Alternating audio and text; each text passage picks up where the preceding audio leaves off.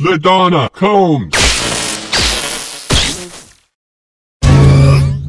Let's see how this human reacts to only having a bow. What a hilarious prank! Bronze. Human fact, they hate bronze. They better survive this difficulty till then.